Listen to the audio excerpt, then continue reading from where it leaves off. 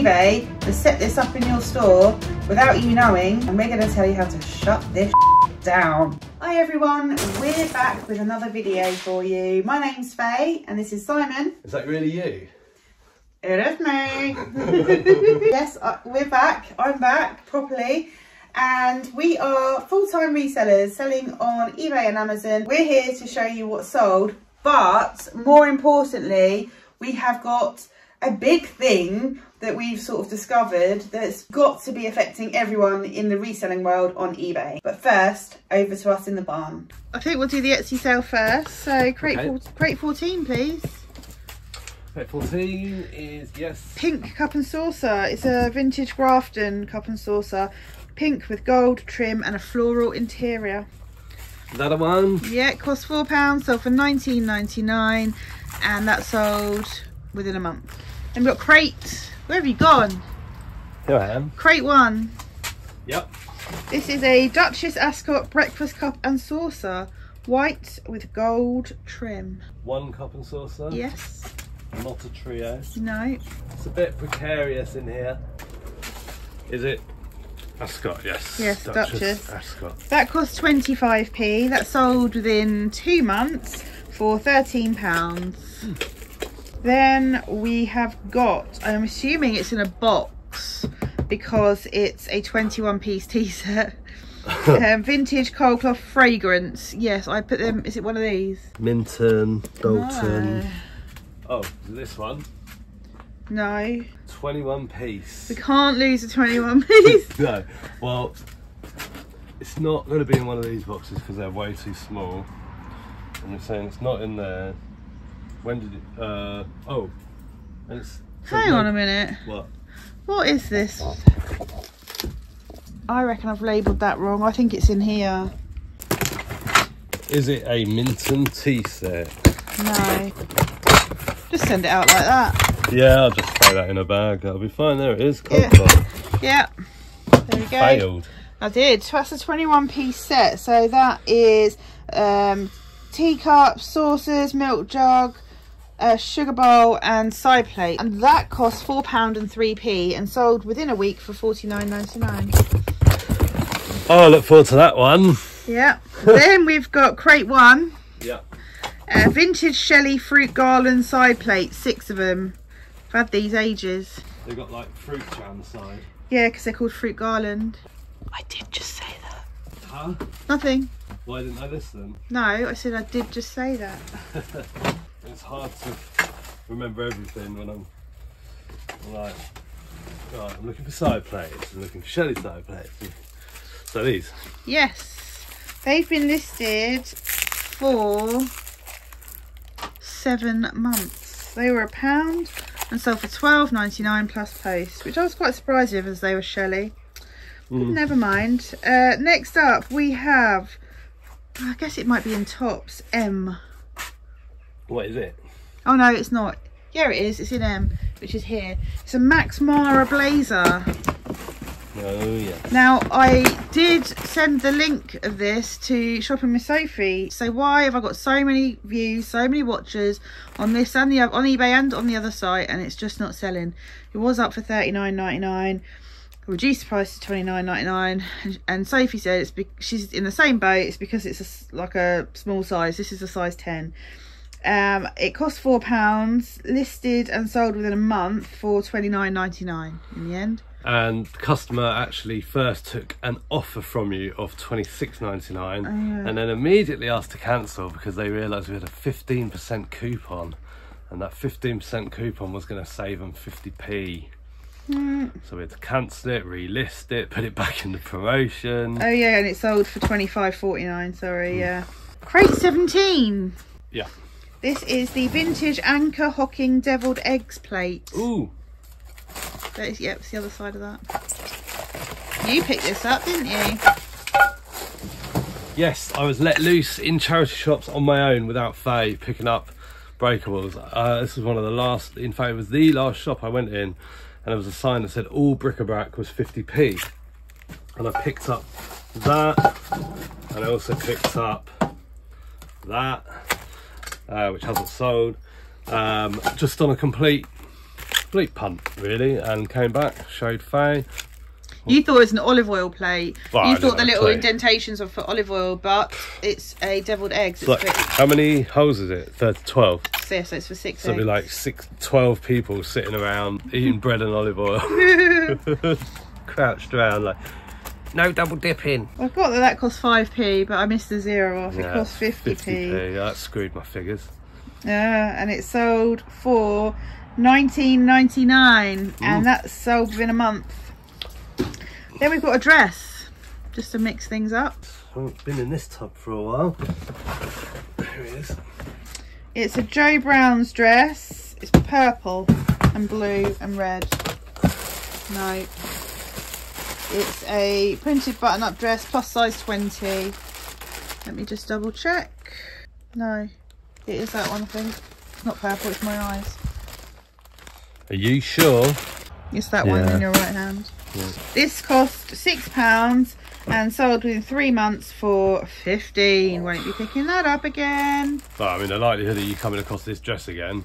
Well, that Probably style of slim. dress. I've still got another I one. I feel like, yeah. I mean, I'm sure there's lots of people that sell Joe Browns and all that, but I feel like there's like a pattern where you see dresses in our inventory where we spent six pounds and they're just and you can't get 20 quid for them, and there's, therefore there's just no point. Mm. I know it's not always like that, but no, you learn, I mean, the fact that we've got that many dresses Yeah, tells a story of its own, doesn't it? yeah. Because we haven't bought dresses like Not for ages. for a while, maybe the odd one here and there, but yeah. Maybe we'll have a sale on dresses. Yeah. Crate 13. Um, It's a vintage Duchess bone china plate with a robin on it. It's a Christmas plate. This cost £1.11 and sold for $16.99 plus post in less than a month. All this bric-a-brac we're showing you, unless we say it's from a charity shop, it's from auction job lots. Uh, okay, tops. Yeah. Tea. Thomas Thomas Pink superfine two-fold shirt in blue gingham. yeah. That cost six ninety nine and sold for thirty one ninety nine, and it's going GSP to America. And that sold in three months. That's from a charity shop. Tripod These just completely stopped selling, so I just did a sell similar. cost nothing. Sold for five forty nine plus post. And then the rest of the stuff we've got to show you is on the table. So first up we have the vintage Royal Doulton Rose Elegance bowl. Bowls, sorry. These were in a job lot from auction, listed and sold within like 48 hours. They cost £4 and 3p and sold for 19.99. Then we have It's Bananas. Uh, bought it with the intention of selling it on Amazon, uh, but it turns out couldn't sell it on Amazon, or the version was different, or something or other. Uh, so I think it cost two pounds, sold for. 16.99. Uh, did they not have an offer on that? 14.44. Then we've got the vintage Minton Marlowe tea sets. This one. Yes, this was in the same job lot as those Rose Elegance bowls I just showed you. These cost £4 and 3p and sold for 49 Did it sell for 49.99? Yes, it did within like two days, and that was a really good pickup. Mm. And then we've got this little tiny picture frame. Nearly wasn't going to list this. It's teeny tiny. It's a vintage antique oval picture frame, decorative domed cover, brass, and it cost 5p. Sold for 9.99 plus post within 48 hours. Another quick sale within 48 hours Yeah. was this tin. It's a musical biscuit tin, empty. Did have biscuits in it from Asda. Someone ate them and it ended up with us in an auction hall. in an auction hall. But that's fine because it cost 68p and sold for £5 plus post. Doesn't have a best before date. Within, yeah, 48 hours. I said that, didn't I? Mm. Next up, we've got a round picture. This had loads of views, Take it out and show it. loads of watches. Sold in less than five days. It's a vintage round gold framed oil painting of like a flower posy uh, with some kind of sort of wear and tear on it, but it kind of just adds to the charm.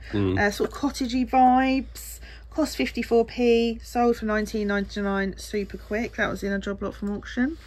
Right, let's do our Etsy sale. Um, this is in crate nine.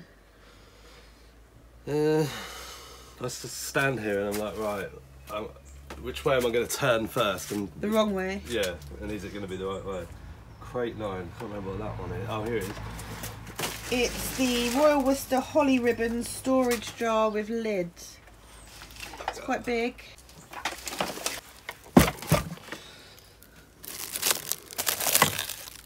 No. This. it's like looking straight at us. Yes, that cost £1.11 and sold within two months on Etsy for forty nine ninety nine plus postage to America. Great sale, Yeah. if I do say so myself. it's almost up there with Jason Reselling's epic Christmas plate sale. That was really epic. Right, next up on the other side, we have a Hush top. Hush. What colour? It's that, it's that, that multicoloured one. Look at the side of it.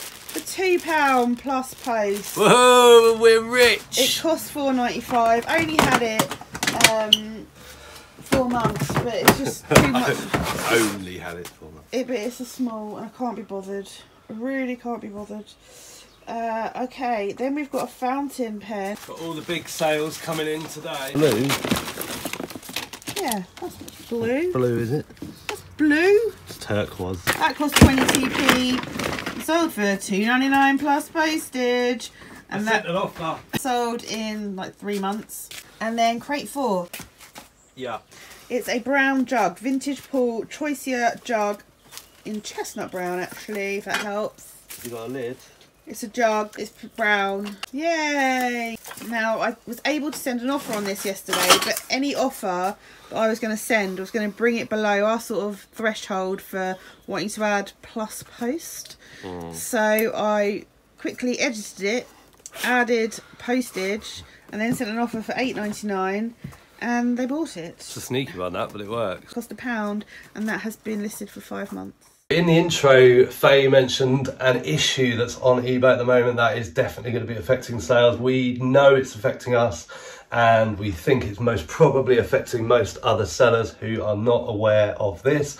We haven't seen anyone else talking about this on YouTube. I haven't seen anyone talking about it on Instagram. Um, I'm sure there's discussions taking place around it. We've not seen them. However, we have been out of the loop a little bit. We've been heads down, quarter four, and all that business. So when we realised what the issue was, we quickly took action to correct it, and it made a huge difference to our sales. And we'll talk a little bit more in detail about that. So the issue itself is all around best offer and auctions, and it's that age-old problem of buyers not paying. Buyer sends an offer, or you send an offer, and they accept it, and then they don't pay. I mean, what's the point of that? But the issue is understandable because I send offers, and if I'm looking to send offers to multiple buyers, I'm not, you know, I don't necessarily want five, but I might send five different offers. So it's not necessarily buyers that are just making offers and then they're just deciding not to pay, but maybe they, they've sent a number of offers. They're not going to buy them all. So eBay are now forcing buyers to enter payment details before they send offers or before they place bids on auction. They're also forcing them to enter their payments when they accept offers. okay so that means that the payment details are there to try and actually finish the sale is that what you're saying as it was, payment details didn't have to be set up on your eBay account to, to, to make an offer. Now, when you make an offer, you're asked to enter your payment details. as sellers we want the whole process uh, for our customers to be as easy and as simple as possible we don't want to create friction or have them deal with friction that might be created by um, the platform so ebay for example Barriers cause hesitation, and hesitation causes abandoned checkouts and lower conversion rates. And what we do know about algorithms is algorithms do not like low conversion rates. So if you've got a product that gets lots of reviews but doesn't get bought, that is going to get shoved down the search very, very quickly. that's one of the reasons we don't like to give out the link to our ebay store Yeah, basically what it's telling eBay is that everything we've got for sale is irrelevant to those people browsing. Uh, but we do we do share our shop, so if you want to look at our shop, just message us on Instagram. We happily share the link. Uh, but it's just algorithmic suicide. I might have just made up a phrase there. I might have just uh, algorithmic suicide. I'm, I'm having that. Is algorithmic even a word as well? Well, that's what I mean. Who It's knows? phrase I'm going to get it in the Oxford Dictionary for sure. uh, but yeah, it's suicide to do that. So we don't do it, but we do share the link willingly, privately. So Individually. there you go. So back to the issue in hand. Slightly moved over to our eBay shop there. So what we don't want to do as sellers is discourage in any way people sending an offer. And we don't want them to be discouraged when looking to send an offer. So for years, buyers have just been used to send an offer, get an offer, send an offer, get an offer. But now what's happening is they're being told, hold on, if you want to send that offer, you've got to enter your payment details. Now, what if it's not convenient to do that? Or what if you receive an offer from a seller and you want to accept that offer, but it wants your payment details? You know, you could be in a whole list of scenarios where it's just not convenient to do if you haven't done it before and those details aren't saved in. And this is this is a new thing from eBay, so there's going to be millions and millions of buyers that are affected by this that are for the first time being asked for their payment details before sending an offer. They might be sending an offer, as I said earlier, they could be sending five offers to five different sellers for items that they're that they're interested in. And of course they're not going to commit to buying all of those because what if all of those sellers so this issue is new and this will change in time. But for buyers right now, they're not used to this. And we don't want buyers to be forced into having to enter their details to send us an offer. eBay has set this up in your store without you knowing, and we're going to tell you how to shut this down. So that's exactly what we did, and we saw a 46.4% uplift in send offer sales. I measured that over six days after turning this off and stopping this from happening, and it really got me a little bit annoyed because it just made me think of all the offers that we've probably missed out on. We're not sure how long this has been activated on our account for. We've been sending really strong offers uh, for quite a while now, so we think it's going to be at least a couple of weeks. And there was no announcement from eBay about this. So I know what you're thinking because for years we've all been saying to eBay, sort this non-payment business out. And eBay have been listening and saying we're working on it, we're working on it. I think it's got to a point with them where they've just felt like they've got no choice. Like maybe they knew the code, maybe they had the code, they had it already, and we're like, just oh, I'm not really too sure about this. But I think it had been going on for so long. Um, I can understand it with auctions 100%. If you bid on an auction, you should pay. Yes. Like if you win that auction, you should pay. If you're bidding on an auction, just like if you're bidding at an auction house. I was going to say, an auction house or whatnot, you, you're committed. yeah, you put your hand up, you bid, you're committed, like just like you say. But for best offer, it's just not that simple. So the non-payers, they're still going to be around. We we we welcome. We welcome non-payers. like there's, there's, as we've said, there's lots and lots of reasons why someone might not pay. Their circumstances could change, or they might have sent offers on five different items. They don't want five. You know, this is what happens. It happens. But I tell you one thing: I would rather have a couple of non-payers a week. Yes. We don't have an issue with non-payers. We'll cancel on 96. Yeah. Uh, realist on about 72 because if they're an international buyer and we can sort of work out the time difference, it's kind of realistic that if they haven't paid by 72, they're probably not going to pay. for GSP buyers, you know, you know that when they made the offer, they didn't know what the calculated shipping by GSP was going to be, the customs and the taxes. So, you know, you see it quite a lot. They'll make an offer for £20 or something, and it's probably going to cost them another £30 to have it shipped.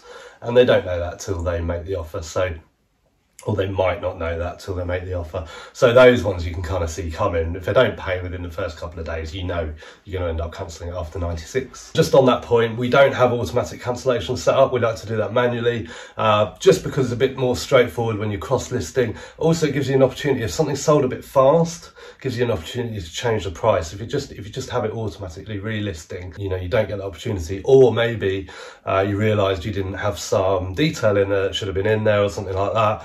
Um, and because while there's an open offer, you can't change that. So we like to sort of keep in control of that anyway. Right. So if you want to jump on board with this movement where you say, actually, you know what? I've been crying out to eradicate non-payment, but now actually.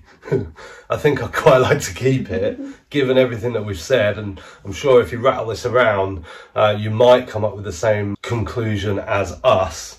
So there's loads of ways to get to this particular setting, but if you go to help and type buyer requirements and then scroll down a little bit and click on buyer requirements and then scroll down to buyer payment requirements and then untick the box that says require buyers to provide a payment method before they make an offer. And you might also have the one for auction as well. We don't have that, and I think that's probably because maybe we didn't or don't have any auctions running. We didn't have any auctions running when this kicked in. Not really sure, but I think you might also find that auction button. If you don't want to force buyers to have to enter payment details when they make you an offer, untick that box.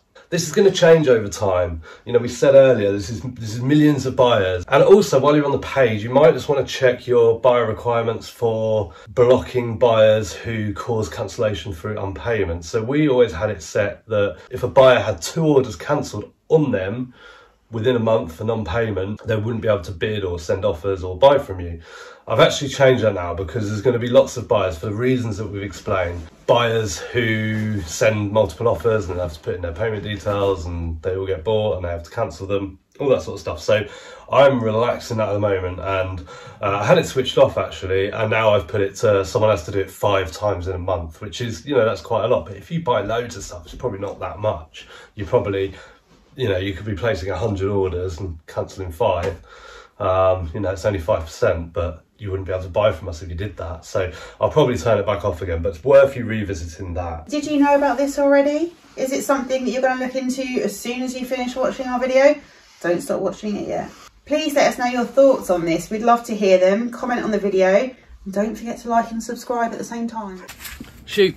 Crate 17, sorry. yes.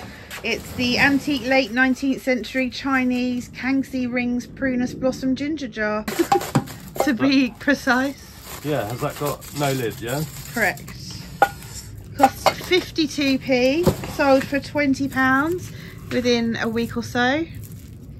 And we have a top, um, J, J for Joe Brown's, second Joe Brown's of the week. We now have a 25% off sale on all dresses. Oh, good. Blue and white flowery. There it is. Huh? Yeah. This is this is this was a disappointing purchase. I mean, it, it had Was it a disappointing purchase or a disappointing sale? disappointing sales, I suppose. I was optimistic about it because when I got it home, I didn't realise it was brand new with tags, and it is size 22. Wow. Uh, got it in July, so it's taken up to three months to sell. Cost six ninety nine, so sold for sixteen forty nine. It's like a tunic sort of smock shirty thing. Sad times, yeah. Then we've got shoes, kids ones. There they are. The box of random. That's them. They're Timberland Boys summer walking shoes. Uh, sold in, in less than two months. Cost two ninety nine. Sold for fifteen. Then we've got uh, home.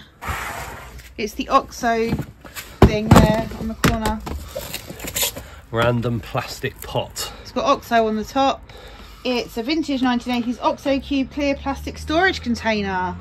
That cost 52p and sold for 9.99 plus post in less than a month. And that was in a job lot from auction. I wonder what you put in that. These shoes, by the way, are from a charity shop, as was this top. And this was a job lot from auction. Then over here, they are actually made by Filofax. They're sort of planners, refillable notebooks, but they're like faux leather. They're a bit weird. Anyway, they were in the job lot of notebooks that we got back in the summer. They cost two pound and sold for twenty nine ninety nine. Um, I've been I fully disclosed the condition, so some have marks and. I just like chipped a little bit off the plastic on the door on the way out, so Oh man, rather you than me. only a tiny bit. Hopefully they don't notice or, or cut themselves. Yeah. Might have to go and get one of your nail files Oh, smooth that off. sold in less than two weeks, cost two pounds, sold for twenty nine ninety nine. Then we've got a top. Moving over to the other site now. Uh, D. It could be in dresses actually, but we'll check tops. It's sort of big t-shirt. It's diesel Yeah. and it's grey.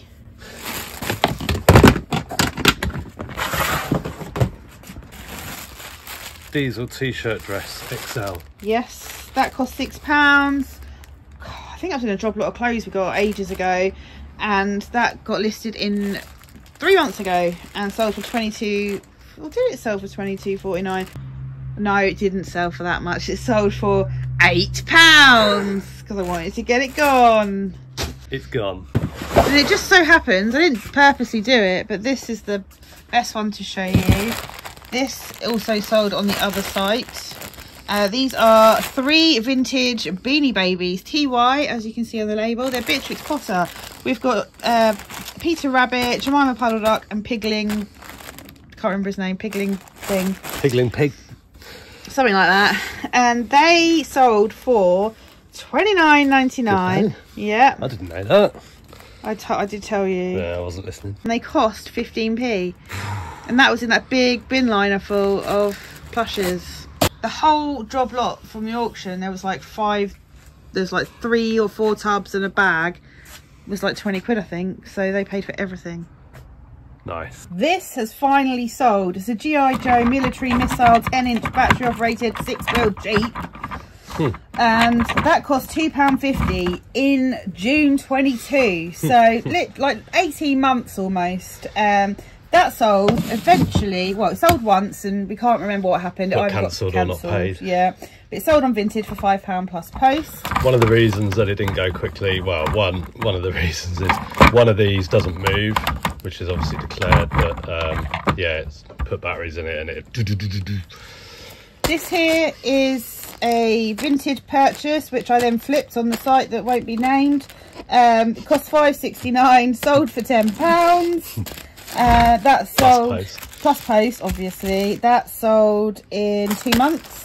Uh, we got these bowls here. These cost one pound forty three and listed and sold within a month for twenty two pound twenty two. The BHS Priory soup coupes. Yep. I didn't even know what a soup coupe was till we started selling soup coupes. And then we have two sales here from the big sort of job lot Beanie Baby bundle, which I'm really happy about. We've got these two. They're TY Jingling Beanies. This one's a holiday teddy and this is Jingle Pop. Both from 1998. That Those two, those two cost 15p and sold for 9.99 plus post. And then we have this teeny tiny Russ Tiny Town teddy bear. So not a TY, but in the same bundle. I collectively call them the TY bundle. This is Russ Tiny Town teddy bear, fully jointed. He's only three and a half inches big. That cost 15p and sold for 9.99 plus post. And then we're also sending out this Escalado. Uh, it I picked it up in a sort of house clearance. Someone was going and doing van life, and they were clearing out their house. And I can't remember what we paid. Um, like probably two pounds. I think it was two or three pounds, but it was incomplete. And by the time I realised that, they'd gone.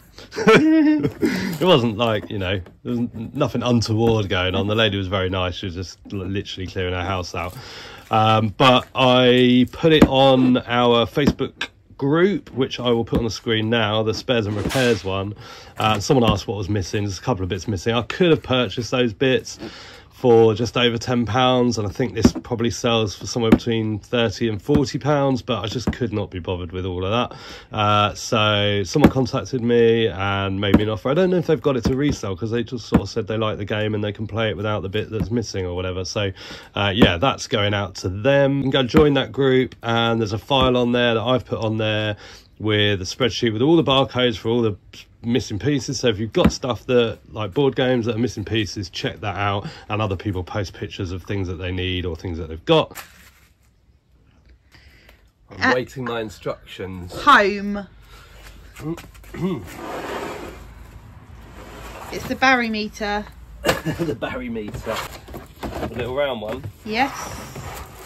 This cost £2.99 from a charity shop. Sold for $19.99 in less than a week. Then Random Tub.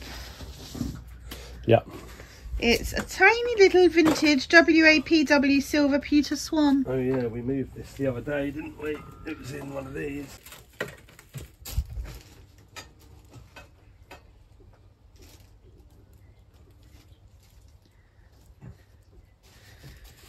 You can see it, I think.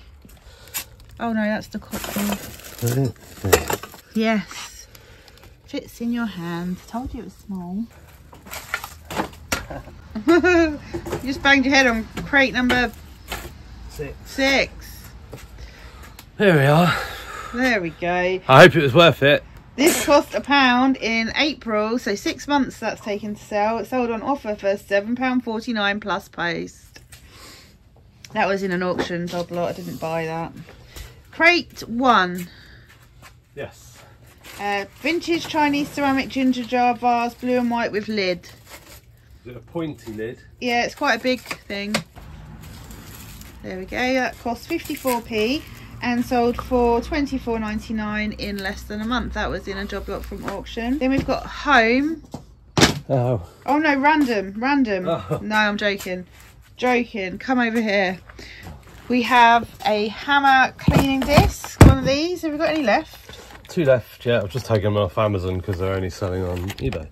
That was cost price of zilch because we just zeroed it down because we put the cost price into everything else we sold from the pallet of tripods, Tripods. and that sold for 5.49 plus post then we've got this little guy playing the piano this is a vintage muse pottery pianist grand piano player and that was listed yesterday and sold today for 9.99 plus post cost one pound 22 i didn't think it would sell that quick. I guess maybe it was the perfect price. And then this guy, a this is out the Beanie Baby bundle. He's not a beanie. He is a Velveteen Teddy Bear company, and he is the Union Jack Teddy Bear. We had two of these. I don't know if we've sold the other one yet or not. Mm, think so. Um, but he sold for fourteen ninety nine plus post, and he cost fifteen p. Thanks very much for watching. We really appreciate it. Thanks for all your comments. Uh, please like the video, as Faye said. We have very few videos that make it over 100 likes. It's such a shame. So let's see if we can get this one to 100. We're sharing something that I think is really huge in this video. Um, and so we really would like to know if you've heard of this issue, if you're, if you've had a think about it, if you plan on changing what you do off the back of what we've explained here, uh, or maybe we've got it all wrong and completely misunderstood. Wasted your time. I don't think we have, uh, but please let us know. As always, I've been busy buying at auction, uh, so I've got a great auction haul to show you um, in a video coming soon. That's all from us for now. Take care and we'll see you soon. Bye for now. Bye!